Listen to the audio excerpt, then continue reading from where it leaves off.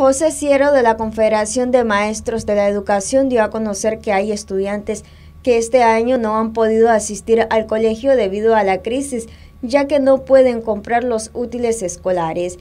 Todos sabemos, conocemos los padres de familia y los docentes conocemos la situación económica de este país. Hay un desempleo, hay una crisis económica, la canasta básica se ha disparado casi el 200%, no es ni el 100%. Ahora el aceite vale más un costo que está inaccesible a la, gente y más a la gente que está en, problemas económicos y, en desempleo. Se le, cuesta más la canasta básica. Eh, y entonces, ¿qué? Yo, toman una opción de no mandar a sus hijos a clase, porque eso incurre gasto. Independientemente, con solo la mascarilla, pues.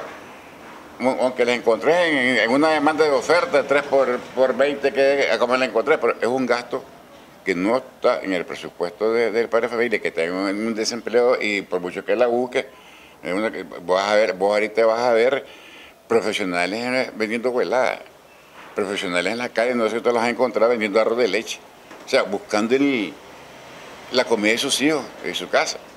Entonces, y si nos mandan a clase, peor, y más que en los colegios no hay medida adecuada. Ciro afirma que el desempleo ha afectado grandemente la educación. Está carísimo. Mira, ahorita es el colmo de los colmos que te van a pasar un libro, un libro de ciencias te cuesta casi 500 cortos. Un padre de familia que, que está en desempleo. La canasta que te leo ahí. ¿Qué puede ser?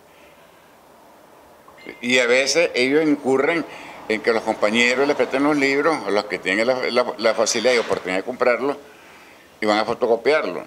Y existe una mala administración en los directores que no te aceptan que ellos fotocopien unos libros y, y utilicen un folleto. Entonces, la, pregunta es que hay eh, a la gente a el, costo del libro, porque siempre hay comisiones. Los colegios, entonces, eh, vos me mandas a tus estudiantes y, como eso va facturado, yo te vale 5 o 10%. Siempre se da eso, ese, ese cuento todos lo conocemos. Entonces, esa exigencia de, los libros es por la comisión. Los directores, ellos no pueden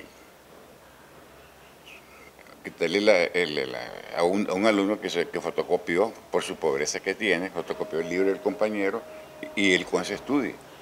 Entonces, un director no puede suspender eso. Y lo están haciendo. Noticias 12, Darlene Telles.